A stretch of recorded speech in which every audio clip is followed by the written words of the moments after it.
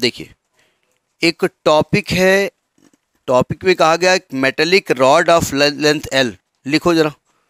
तो जिसके पास नहीं हो लिख लें। अब metallic rod of length L is revolving पहले तैयारी कर लिया करिए। अब metallic rod of length L is revolving यानी पहले समझाने की कोशिश भी करते जाएँ। ये एक रॉड है, ये मेटेलिक रॉड है, इसकी लेंथ कितनी है? L is revolving with an angular velocity omega about its one end यानी एक एंड ये पूरी रॉड है। इसका एक एंड ओ हो गया, एक एंड ए हो गया और इसके चारों तरफ़ वो एक एंगुलर वेलोसिटी ओमेगा से ऐसे रिवॉल्व कर रहा है। अब आप कहेंगे कहीं पर क्या पतला हो गया, कह रहा है नहीं, वो ठीक है। और ये ओमेगा इसकी एंगुलर वेलोसिटी है। कोणी देख, नहीं, कोणी वाले नहीं है अभी। ठीक है a uniform magnetic field is applied parallel to the axis of rotation देखिए, इसकी ये है ना एक्सिस ऑफ़ रोटेशन तो uniform magnetic field is applied parallel to the मतलब किधर है? परपेंडिकुलर इनवर्ड कह दो चाहे आउटवर्ड कर दो। तो ये मैग्नेटिक फ़ील्ड यहाँ पर अप्लाइड है। ठीक है, ये मैग्नेटिक फ़ील्ड इसमें अप्लाइड है बी एक मैग्नेटिक फ़ील्ड बी अप्लाइड है।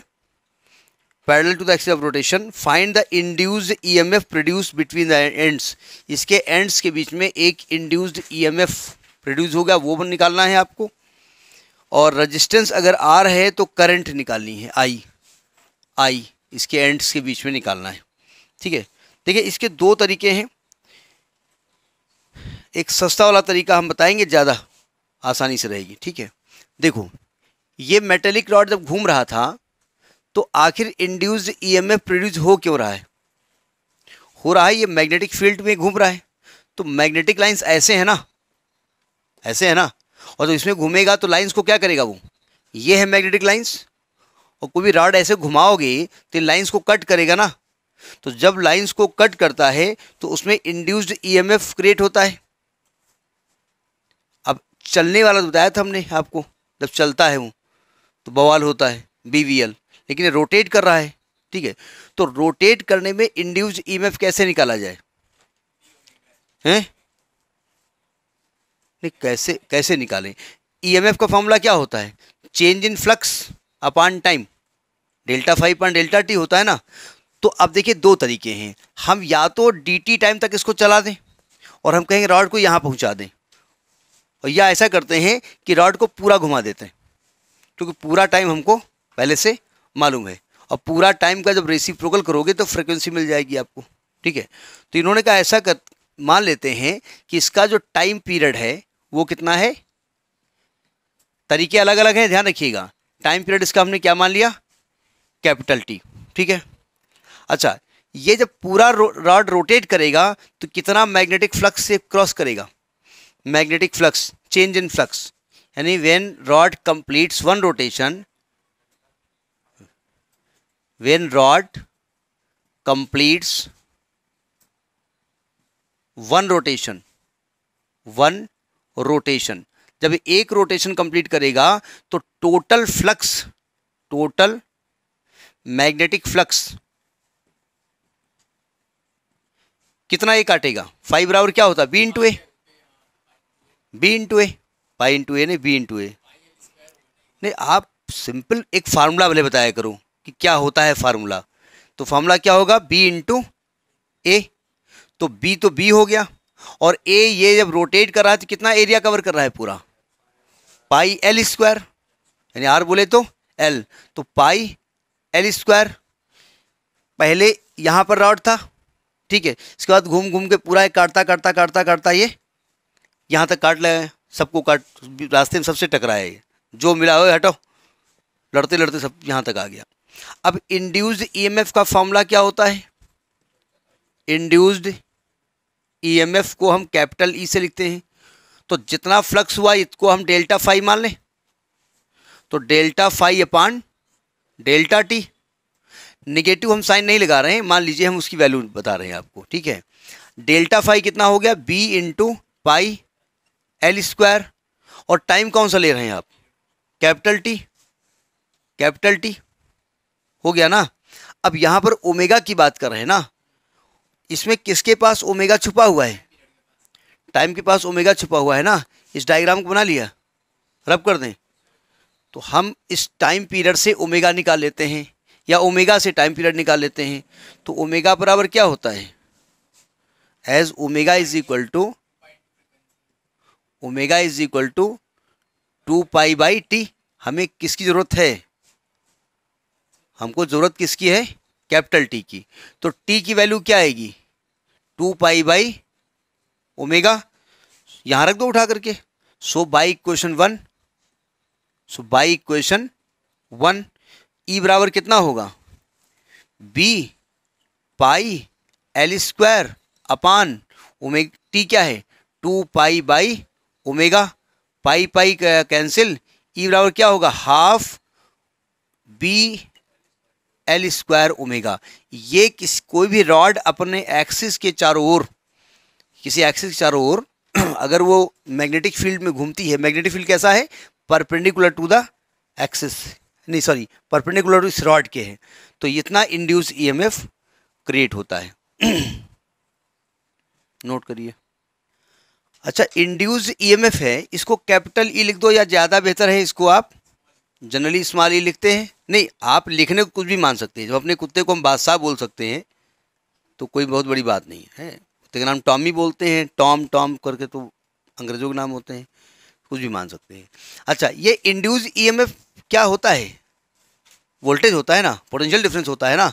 तो अगर इस रॉड का रेजिस्टेंस आर है तो अगर हमसे इंड्यूस्ड करंट बोला जाएगा इंड्यूस्ड करंट आई बराबर क्या होगा? ई अपान आर तो ई e रख दीजिए, यानी half omega B L square by R तो इंड्यूज करंट का फॉर्मूला हो गया। नोट करिए। अब देखिए, अब आपने ये मेथड देख लिया। अब मान लिया आपकी बुक में कहीं टॉपिक लिखा होगा। मेथड चेंज हो गया। क्या कहा गया? कि रॉड मैग्नेटिक फ़ील्ड में घूम रहा है। और मैग्नेटिक ये रॉड का एक्सिस है, और ये मैग्नेटिक फ़ील्ड एक्सिस के परपेंडिकुलर है। ठीक है नहीं। एक्सिस के। ये हाँ ये अच्छा ये एक्सिस है। ठीक है। ये एक रॉड है। ये रॉड है। रॉड की लंबाई कितनी है? एल हाँ तो यार कंफ्यूज क्यों कर रहे हो? वही मैं कह रहा हूँ। हम तो, कंफ्यूज कर क्यों रहे हो? ये एक्सिस है ना इसका? तो ये एक्सिस के पैडल है यानी कि इसके चलने के यानी इस रॉड के परपेंडिकुलर है। यानी मैग्नेटिक फ़ील्ड ऐसे जैसे अभी था, ठीक है? अब देखो ये एल रॉड है। बहुत स्मॉल टाइम में वो ऐसे घूमी, थोड़ा ज़्यादा घुमा दो नहीं डी टी टाइम में। और कितने एंगल से घूम गई? ये डी थीटा एंगल से घूम गई।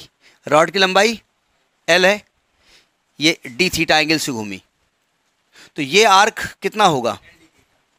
Arc is equal to angle is equal to arc पर रेडियस तो ये आर्क हो जाएगा एल डी थीटा। तो हमको ये निकालना पड़ेगा कि डी टी टाइम लगा ना इसको। रॉड को यहाँ से यहाँ तक जाने में कितना टाइम लगा? इसका नाम दे दो चाहे। ओ पी क्यू रॉड को डी टी टाइम में कितना एरिया कवर किया? Area covered by rod. Area covered by rod in time D T. Actually जितना रॉड ने एरिया कवर किया है ना, उतना ही मैग्नेटिक फ्लक्स काटा है। क्योंकि रास्ते में मैग्नेटिक लाइंस पड़ती जा रही हैं और वो बिल्कुल हाईवे की तरह लाइंस को उड़ाता हुआ चला जा रहा है। ठीक है? तो एरिया का फॉर्मूला क्या होगा? D A is equal to. तो एरिया दो तरीके से आप निकाल सकते हैं। देखो, हम ये मान के चल रहे हैं कि ये बहुत स्मॉल लेंथ है तो एंगल कितने डिग्री का है? 90 डिग्री का। दो तरीके से समझ लीजिएगा। तो एक तो आपका हाफ़ बेस इंटू हाइट हो जाएगा। Half into L into L D theta एक तो ये तरीका हो गया। आप कहेंगे, हम तो नहीं मानेंगे। दूसरा तरीका बताओ, ये नहीं चलेगा। ये दो लंबाइयाँ हैं और इसके बीच का एंगल थी डी थीटा है। अगर किसी ट्रायंगल में दो साइड दी हों और उनके बीच का एंगल दिया हो तो एरिया का फॉर्मूला हो तो half into first side into second side sine D theta ये भी एक फॉर्मूला होता है। अगर कोई ट्रायंगल आपको ऐसा दिया हुआ है जिसमें दो साइड दी हों, उनके बीच का एंगल दिया हो तो half A B sine theta इसका एरिया होता है। अब ये नहीं करना प्रूफ करिए। ठीक है? ये होता है। अब चूँकि एंगल इज़ वेरी स्मॉल तो लिमिट क्या कहती है? कि साइन डी थीटा को केवल डी थीटा लिख सकते हैं, यही तो एरिया आएगा। समझ में आ गया? तो दोनों तरीके से एरिया निकल आया। Half into L square D theta अब आपको निकालना क्या है? इंड्यूस्ड ईएमएफ यहीं से स्टार्ट करूँगा। इंड्यूस्ड ईएमएफ स्मॉल ई मान लो, क्या फॉर्मूला होता है? Minus D theta upon D T, D phi B upon D T. Minus D phi B upon D T. Minus केवल क्या इंडिकेट करता है? इसका डायरेक्शन कि ये उस रीजन को अपोज करता है। ठीक है? तो माइनस बाद में हम हटा देंगे। तो minus D by D T of phi क्या होगा? B A. ठीक है? फाइव क्या होगा? B A cos theta. Theta ये वाला नहीं। थीटा क्या लिया जाएगा? ये इसका, ये जो आपका सरफेस है, जो इसने बनाया, ये सरफेस है, एरिया। और ये एरिया है, और यही मैग्नेटिक फ़ील्ड। तो थीटा ज़ीरो लिया गया। तो थीटा की हम बात तो करेंगे नहीं। तो बी तो बाहर कर दिया। तो आएगा डी ए बाई क्यों कर दें theta? D A by D T D A की वैल्यू हम निकाल चुके हैं। तो यानी कि ई e बराबर क्या हो जाएगा? डायग्राम रब कर दें। ठीक है, ये डायग्राम रब किए दे रहे हैं। मतलब दूसरा भी तरीका इसका ये है, ये ज़्यादा बेहतर तरीका है। वो भी घटिया तरीका थोड़ी है वही तरीका है। ई इज़ इक्वल टू अच्छा माइनस हमने हटा दिया, ठीक है। और यहाँ लिख दो न्यूमेरिकली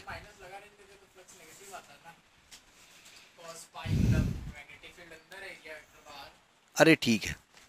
ये कहाँ कहाँ अंदर है मैग्नेटिक फ़ील्ड नॉर्मल बोला उन्होंने, ये थोड़ा सा इनवर्ड आउटवर्ड वो तो हमने मान लिया है। ठीक है? अच्छा देखिए इज़ इक्वल टू हम न्यूमेरिकल लिख लिख दे रहे हैं।